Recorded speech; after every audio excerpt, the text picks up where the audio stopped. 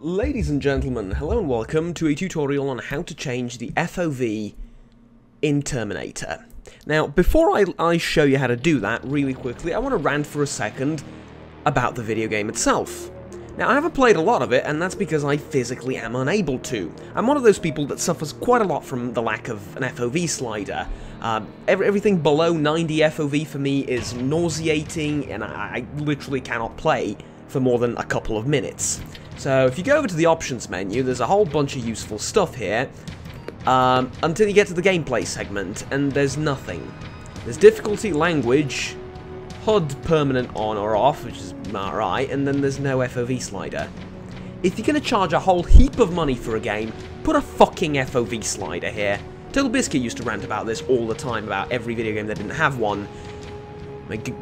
Rest in peace, and, and all that. But yeah, on to the tutorial. I apologize for the lengthy intro. Okay, so here's what you need to do. You need to click the Windows and R key at the same time, and that'll bring up Run. Alternatively, if you can't find those buttons or just can't be bothered, click here, type Run, enter, and there you go. Um, well, don't click it that quickly. Type Run, click it once, and you get you now get this little window. Type in local app data, uh, you know, uh, preceded and followed by a percentage mark. So percentage, local app data, percentage. Click OK, and it'll give you, it'll, it'll bring you here. So what do you do now? Well, now you scroll down all the way until you find, what the hell is all this? I don't know. Until you find Terminator. I haven't, I have, I've had this same Windows for a while, so there's a whole heap of stuff here that I don't need. Yours should look probably a little bit cleaner than mine. Until you find Terminator, you go in, saved, um, config, Windows No Editor, and then game user settings.ini. You open that up with Notepad or whatever you prefer to use.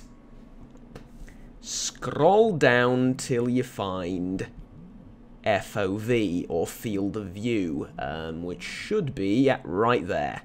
It's 70. It honestly, it doesn't feel like 70. It looks like 60 to me But change that number up to, let's say, 90.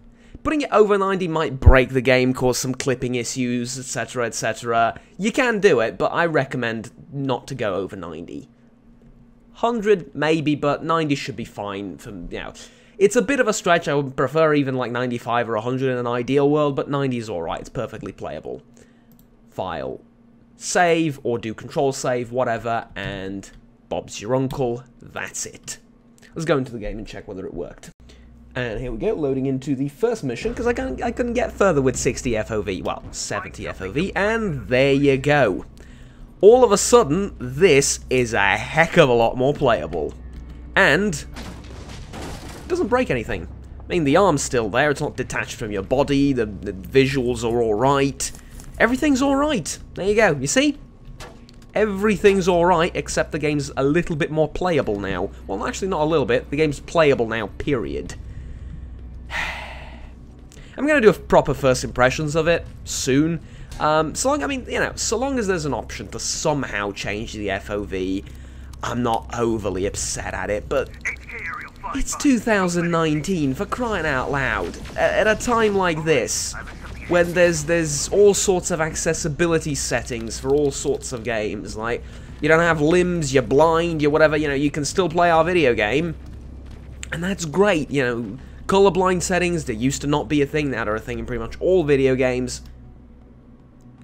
Now, like, to not have FOV, for crying out loud, come on. It just, uh, like, you know, I would have, if I didn't know how to do this, I would have asked for a bloody refund. Anyways, that's it. Sorry for, for making it way longer than, than it was absolutely necessary, but uh, that, now you know how to fix it. Or now you know how to, well, yeah, fix it. I'll, because otherwise it's, it's, it's pretty broken to not have an FOV slider, yeah. Anyways, my rant aside, sorry again, have fun and enjoy your game. Bye-bye.